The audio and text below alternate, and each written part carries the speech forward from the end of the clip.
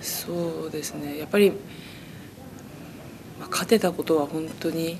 大きかったと思います。まあ、それで最初からあのあの雰囲気だったかって言ったらそうじゃないって思いますし本当に試合を追うごとにこうチームが本当にまとまっていくっていうふうに思えていったので、まあ、本当にそれぞれの役割いろいろあったと思うんですけどもそれをみんなが割り切ってチームのために自分ができることを精一杯みんなやってたかなと思います。やはりまあ、まあ、試合に、まあ、スタートで出ることはないですけども常にまあ自分のもし物事があったら出なきゃいけないので、まあ、常に自分のいい準備をしてたのとあとやっぱりこ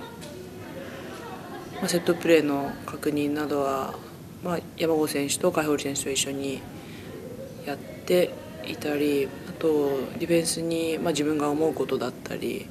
を一緒にディフェンスミーティングとかでも話をしたり、まあ、ベンチでは山郷さんと一緒にあの精一杯声を出したりしてました。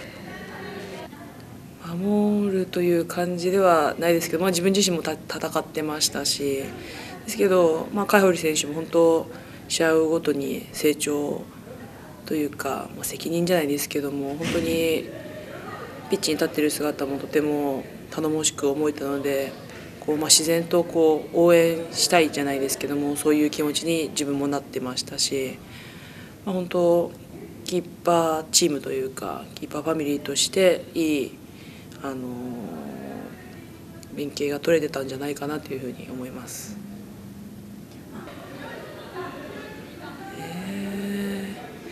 でも本当にあそこにいたのも、まあ、信じられないというか、まあ、本当に夢のような感じでしたねあそこにいること自体が自分自身が。まあこう周りはこうすごく注目してくださって取り上げてくださって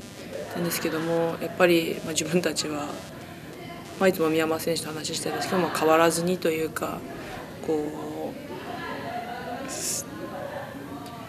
周りがどんだけ変わっても変わらずにいたいねっていう話はいつもしてました。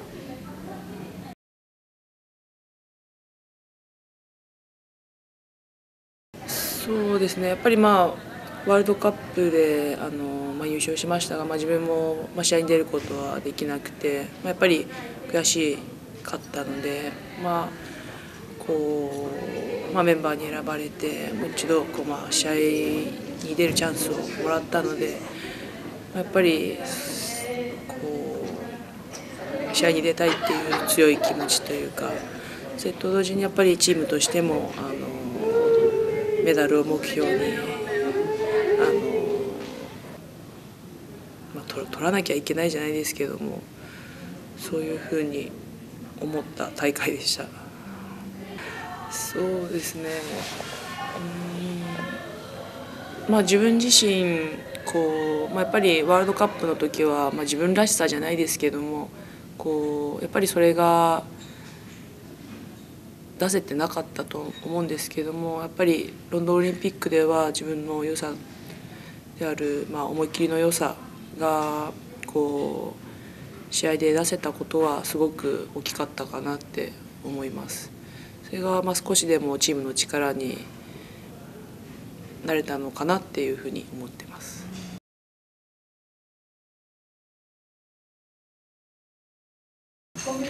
そうですね。やっぱりこう今まで先輩たちが築き上げてきた、まあ、代表チームであって、まあ、まあ、自分はやっぱり、まあ、若いメンバーと比べたら、まあ、長い間代表チームにいるのでこうやっぱりその先輩方が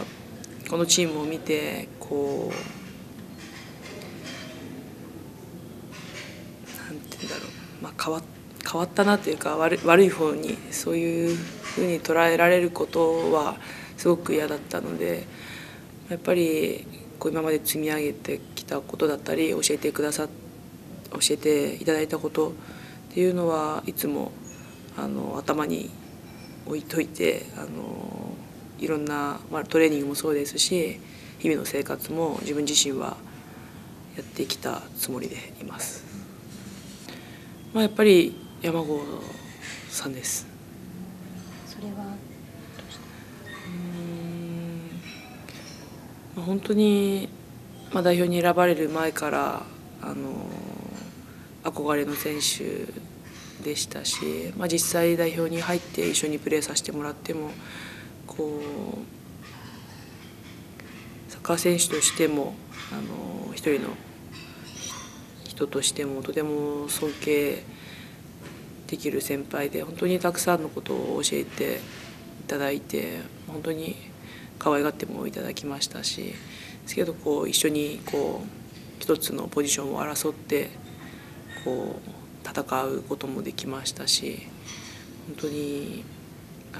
の山郷さんは私にとって大きな存在です。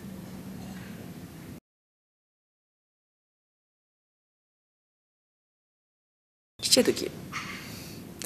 なんか保育園とかのなんかプロフィールじゃないですけど書くやつとかには多分アイスクリーム屋さんと花屋さんだったと思います。多分ですけどもはい。サッカーを始めたのは小学校3年生の時です。はと4年生の時にあの全国大会に行ってその時にあのベレーザの選手の人のなんかサッカースクールみたいなのがあってその時、まあ、本当にかっこいいなと思ってあのそれからはあのベレーザの選手になりたいなって思ってました。そうですねまあ今まあ所属チームでなかなかこう勝つことができてないので勝って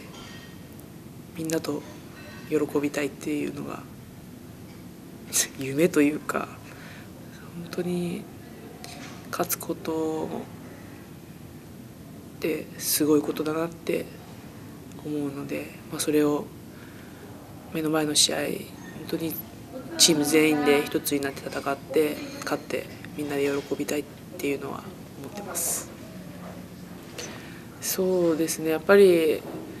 もうみんながいないとできないですしやっぱりみんなと一緒に同じ気持ちで負けても勝っても同じ気持ちで喜んだり悔しがったりやっぱりやっていきたいですね。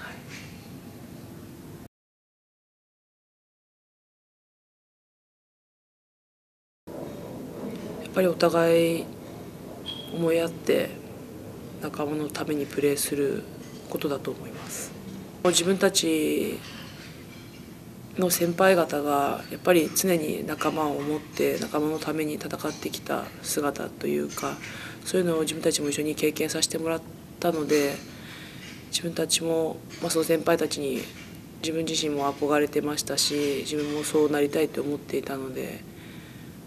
自然とそうなってるんじゃないかと思います。そうですね。